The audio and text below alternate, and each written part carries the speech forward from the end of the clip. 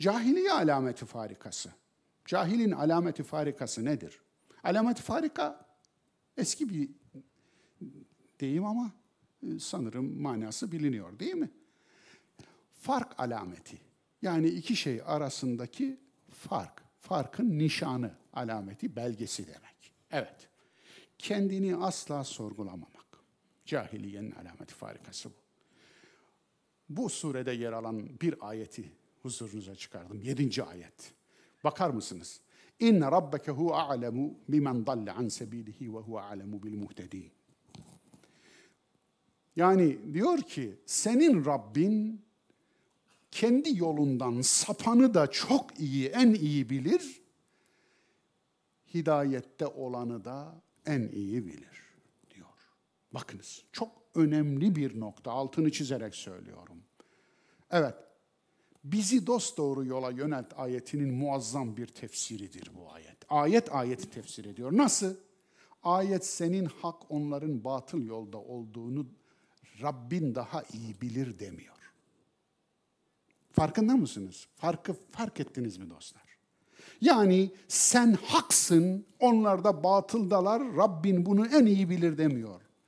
Ama diyor ki kimin hak, kimin batıl üzere olduğunu Rabbin daha iyi bilir.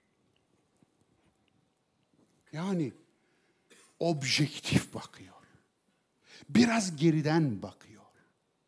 Ve burada mutlak olarak kurtuluşu herhangi bir yere vermiyor. Farkında mısınız? Bu aslında şu. Her zaman sen kendini sorgula.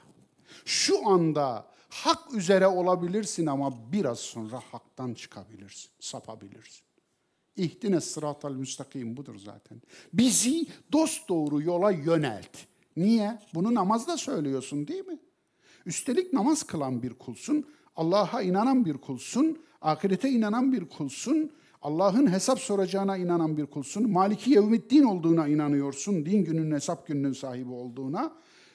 Yani bütün bunlara inanıyorsun ve bir de huzurunda durmuşsun, ona kul olmuşsun, namazın içinde diyorsun ki bizi dost doğru yola yönelt.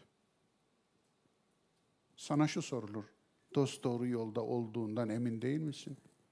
Değilsin tabii. Olmayacaksın tabii. Olmamalısın tabii. Bu o demek zaten. Bu o demek. Namazın içinde bile olsan, kulluğun pik noktasında bile olsan kendini sorgulamaktan vazgeçme. Bu mesaj budur. Onun için kendini sorgulamak kulluğun zirvesidir.